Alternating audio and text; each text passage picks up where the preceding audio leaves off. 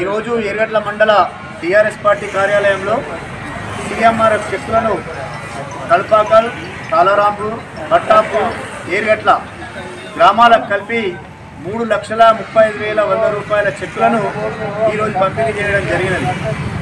ముఖ్యంగా ఏర్గట్ల మండలంలో ఉన్నటువంటి చాలామంది నిరుపేదలు వివిధ కారణాల వల్ల హాస్పిటల్లో చూపించుకొని ఖర్చుల వివరాలను మంత్రి ప్రశాంత్ రెడ్డి గారికి విన్నవించుకోవడం మూలంగా వెంటనే స్పందించి దయతో సీఎంఆర్ఎఫ్ చెక్కులను ముఖ్యమంత్రి సహాయ నిధి ద్వారా దగ్గరుండి మరీ లబ్ధిదారులకు చెక్కులను నేరుగా వారి ఇంటికి పంపించడం జరుగుతున్నది. వారికి కుటుంబ సభ్యులందరూ కూడా ప్రశాంత్ రెడ్డి గారికి రుణపడి ఉంటామని చెప్పడం జరుగుతున్నది. ఎరుగట్ల మండలంలో ఉన్నటువంటి ప్రజలు టీఆర్ఎస్ ప్రభుత్వం వచ్చిన తర్వాత వివిధ హాస్పిటల్లో చాలా రకాల ఇబ్బందులతో పడ్డ వాళ్ళందరికీ కూడా ప్రశాంత్ రెడ్డి గారు దగ్గరుండి మరీ సీఎంఆర్ఎఫ్ చెక్కులను పంపిణీ చేయడం జరుగుతున్నది. జై తెలంగాణ!